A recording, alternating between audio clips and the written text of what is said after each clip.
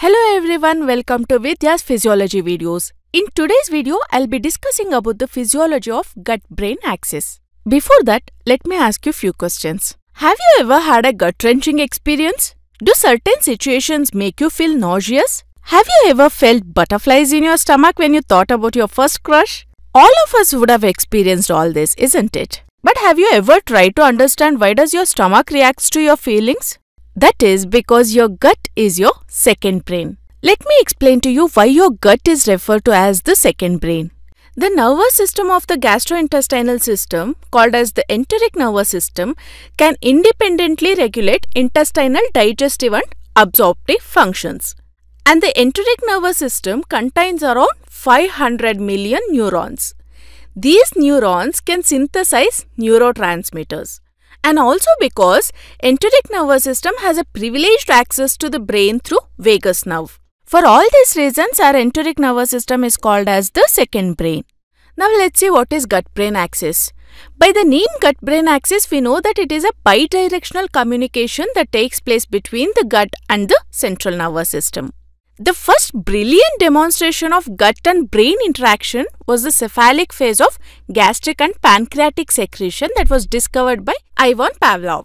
Just the thought, the sight, or the smell of the food increases gastric secretion, isn't it? What we understand by this? That the gut and the brain are not just connected physically, but it is also connected biochemically. But is that all about gut brain interaction? Definitely no. There is another very interesting connection between the gut and the brain. That is through the microbes present in our gut. Trillions of microbes live in our gut. These microbes produce many types of chemicals that influence our brain function. Interesting, isn't it? So, let's look at some terminologies that I may keep using during this presentation.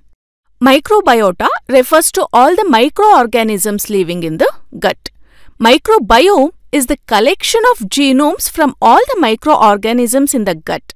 Dysbiosis refers to microbial imbalance and symbiosis is the relationship established between two organisms that need each other to survive.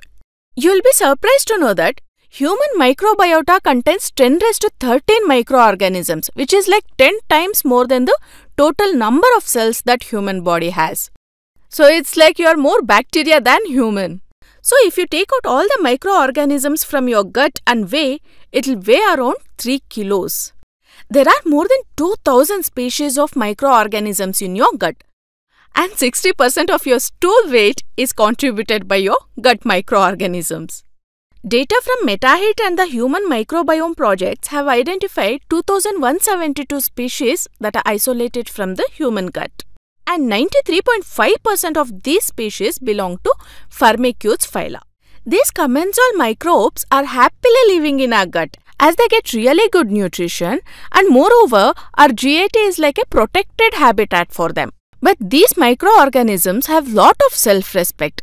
They don't just live in our gut for free but they pay the rent. What I mean to say is that the microbiota and the host have mutually beneficial relationship which assure the balanced habitat. These microorganisms digest the dietary fibers and produce lot of short-chain fatty acids such as butyrate, propionate and acetate and make indigestible nutrients available to the body which provides energy and has neuroprotective functions. They also produce neurotransmitters, vitamins and other metabolites. As I already told you, fermentation of saccharides by gut microbiota is the main source of energy for intestinal epithelial cells. Another major function is they form a biofilm. That is, they form a protective layer in the gut which restricts the access of pathogenic microorganisms to the gut tissue. And also, gut microbiota plays a critical role in brain processes such as myelination, neurogenesis, microglial activation and effectively modulate behavior and influence psychological processes such as mood and cognition. We learnt about the functions of the gut microbiota in brief. Now, let us pick up more information on the interaction between gut microbiota and the brain. The gut microbes communicate to the central nervous system through three channels that is, nervous, endocrine and immune signaling mechanisms. Let me repeat gut microbes communicate to the central nervous system through nervous, endocrine, and immune signaling pathways. In turn, brain communicates to the gut and gut microbiota through autonomic nervous system by modulating regional gut motility, intestinal transit and secretion, and gut permeability. Also, potentially through the luminal secretion of biomolecules that directly modulate microbial gene expression. Since gut microbiota forms the main communicating system, it will be more appropriate to call microbiome gut brain axis than just calling gut brain axis, isn't it? Let's see how gut and brain communicates through the neural system. The longest nerve of the autonomic nervous system, that is vagus nerve, links the gut and the brain and it is scattered throughout the intestinal wall. Vagus nerve does not cross the epithelial barrier. Hence, it has no direct connection with the microbes. However, vagus nerve is very sensitive to microbial compounds that cross the epithelial barrier. Also, vagus nerve interacts with the endothelial, endocrine and immune cells of the intestinal mucosa, which conveys information from gut to the brain and brain to the gut microbiota. Let's look at the second channel of communication, that is neuroendocrine signaling. The hypothalamo-pituitary adrenal axis is one of the main neuroendocrine pathways that mediate gut-brain communication. HPA axis is involved in regulating many physiological functions and most importantly it is involved in the stress response. This HPA axis has significant impact on gut physiology. As a result of HPA axis activation, cortisol is released. This cortisol has a major role in regulating immune cell activity. It regulates immune cell activity by acting on the gut permeability and by affecting gut microbiota composition. The communication between gut and brain through neuroendocrine system is mediated by several microbially derived molecules that include short chain fatty acids, secondary bile acids and tryptophan metabolites. The HPA axis and the autonomic nervous system regulate each other and they also collaborate with immune system to regulate the gut health. In a normal healthy condition, gut and brain bidirectionally communicate with each other through nervous, neuroendocrine and immune cell signaling systems which work in harmony to maintain the homeostasis. But during stressful condition, be it physical stress or psychological stress or anything, the harmony between gut and the brain is disturbed and it is continued as vicious cycle during chronic stress. Let's see what happens to gut-brain axis during chronic stress. So our immediate response to stress is flight and fight reaction due to activation of sympathetic nervous system that results in the secretion of epinephrine and norepinephrine and as a result of secondary response, HPA axis is activated. Hypothalamus is sensitive to norepinephrine that is released as a result of initial response to stress. Now, the hypothalamus secretes corticotropin releasing hormone into the bloodstream. Corticotropin releasing hormone tells the pituitary gland to secrete a substance called as adrenocorticotropic hormone the pituitary gland releases adrenocorticotropic hormone into the bloodstream and the hormone travels down to the adrenal cortex which is the outer layer of adrenal glands that secrete glucocorticoids that is the hormone cortisol. Usually what happens during normal or eustress condition? When cortisol reaches certain blood concentration, it exerts negative feedback mechanism which means the cortisol itself inhibits the release of corticotropic releasing factor and adrenocorticotropic hormone. But during stressful conditions, there is hyperactivation of this HPA axis and negative feedback mechanism gets impaired. So now there is increased concentration of cortisol in the blood. This starts acting on enteric muscles on the gut immune cells and on the gut microbiota and increases gut permeability which is referred to as leaky gut which is usually seen in irritable bowel syndrome. Leaky gut is where the luminal epithelial barrier is disturbed and epithelium is exposed to the luminal contents which increases immune response. As a result of these immune reactions, pro inflammatory markers such as tumor necrosis factor alpha, gamma interferon, and interleukin 6 are increased. This interleukin 6 is also known to activate the HPA axis. As a result of gut brain axis impairment due to stress, reduction in hippocampal serotonin and brain derived neurotrophic factor expression is seen, which leads to many neurodegenerative conditions. So, let's move on to the third channel of communication that is through enterochromaffin cell signaling. Enterochromaffin cells are responsible for the production of serotonin in the GI tract. 95% of the serotonin that is produced are stored in enterochromaffin cells and also in enteric neurons. And only 5% of it is stored in the central nervous system. So let's look at the functions of serotonin. Serotonin plays a major role in regulating GI motility and secretion. It also plays a major role in sleep, appetite, temperature, sexual behavior and pain sensation. So the serotonin that is synthesized and released by enterochromaffin cells are regulated by spore forming bacteria of the gut. We shall now see how these microorganisms regulate the synthesis and release of serotonin by enterochromaffin cells. The essential amino acid tryptophan is a precursor of neurotransmitter serotonin. But the host is unable to produce tryptophan. So, the dietary intake of proteins that contain tryptophan serves as the primary regulator of its availability. So, gut microbiota helps in protein degradation and makes tryptophan available for the serotonin synthesis. Not just serotonin, but many other neurotransmitters like GABA, dopamine, norepinephrine, acetylcholine, and glutamate are also synthesized by the gut microbes. All these neurotransmitters play an important role in regulating gut brain axis. So let's move on to the third channel through which gut and brain interacts that is neuroimmune signaling pathway. The interaction between gut microbiota and the immune system is really extensive. Maturation of our immune and neurological as well as our microbial colonization is initiated with the birth of the baby. And mothers are the major source of gut microbes. So, our microbiota plays a major role in shaping both innate and adaptive immunity. And our gut has highest concentration of the immune cells that are T lymphocytes, B lymphocytes, neutrophils, macrophages and dendritic cells.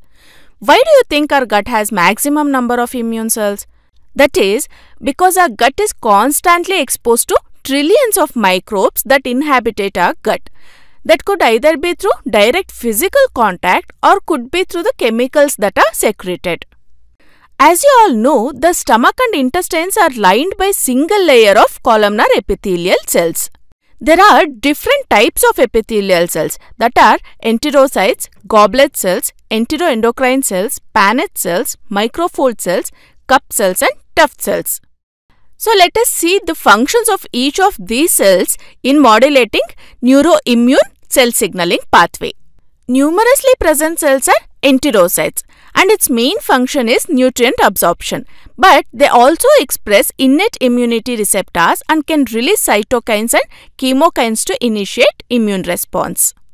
And then we have enteroendocrine cells that secrete various neuroendocrine compounds like ghrelin, somatostatin, cholecystokinin, serotonin that are involved in neuroimmunomodulation.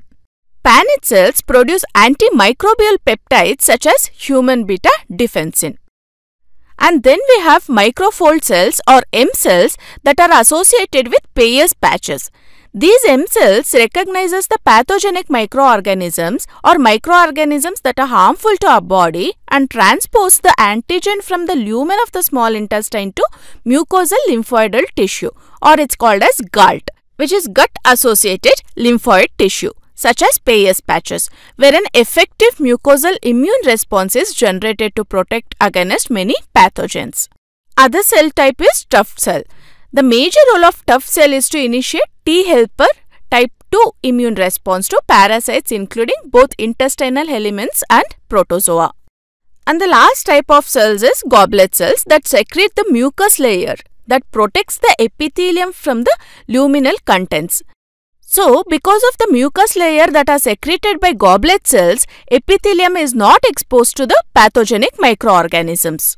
So it's like a protective layer to the epithelium. M cells, as I already told you, recognizes self and non-self antigen and presents non-self antigen to the immune system where these pathogens are killed. Moreover, microbiota and host interaction at the level of the gut leads to release of cytokines, chemokines, neurotransmitters, neuropeptides and many endocrine messengers and microbial byproducts that can infiltrate the blood and lymphatic systems. So all these chemicals influence neural messages carried by the vagal and spinal afferent neurons. In this way, gut is in constant communication with the brain.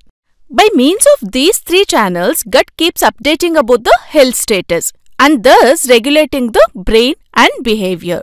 We now know that gut microbiome plays a major role in gut-brain axis function. We shall now look at the factors that affect gut microbiota composition and functions. The diet we take plays a major role in determining microbiota diversity of our gut. That is the reason why microbiome is unique to each person. High fiber diet leads to rich microbial diversity and the gut microbiota helps in degradation of these fibers into short chain fatty acids which are main source of energy to epithelial cells. Short chain fatty acids are mainly composed of acetate, propionate and butyrate which play a major role in anti-inflammation, neural plasticity and neural protection. On the other hand, lipopolysaccharides, cytokines, L-carnitine, trimethylamine, which are derived from the metabolism of long-chain fatty acids from high-fat diet, and phosphatidylcholine, which is rich in poultry, egg, and especially red meat, leads to inflammation, thrombosis, and atherosclerosis. And this is the reason why high-fiber diet is good for our health. Since gut microbiome is different in each person, researchers think that choosing drug based on individual's gut microbes is possible and that could be more effective. Drugs or medicines that we take also influence our gut microbiota and this is bidirectional. What I mean is gut microbiome can be influenced by drugs and the gut microbiome can also influence an individual's response to drugs by enzymatically transforming the drug structure and altering its efficacy. And thirdly, our gut microbiota diversity is largely dependent on geographical provenance. People living in non-Western countries, particularly Africans, have higher gut microbiota diversity than other areas. Unhealthy lifestyle practices like alcohol, smoking, junk foods and lack of exercise can significantly impact the gut microbiota and increases the risk of developing serious health issues. Mode of birth also has major impact on the gut microbes. During the vaginal delivery, baby will be exposed to lactobacillus, which is considered normal, and the production of certain specific cytokines helps in proper development of immune system. Whereas during C-section, the baby is first exposed to skin microbe, which is mainly Staphylococcus, which is considered abnormal. This abnormal microbial introduction may lead to disrupted intestinal microbial colonization, which may increase the risk of atopic dermatitis, asthma, allergic rhinitis, celiac disease, etc.